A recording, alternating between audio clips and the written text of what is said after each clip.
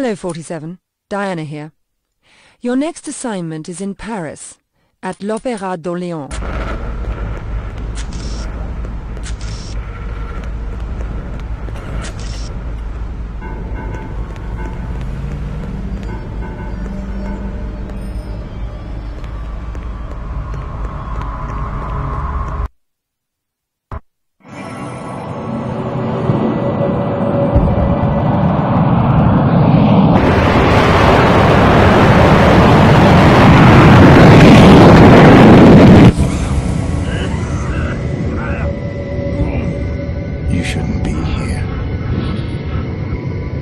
What happened?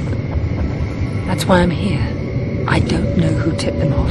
I barely made it out of Paris myself. How's your wound? Your doctor saved my life. There's been a lot of pressure. We're losing friends.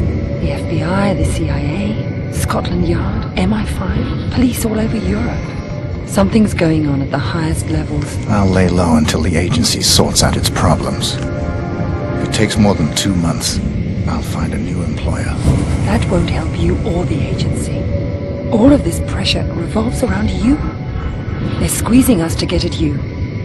I've sensed it for a while. Tonight confirmed it.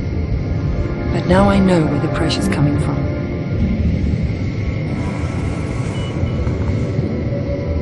Hmm. This is serious business. Do you have this kind of money? It's under your seat.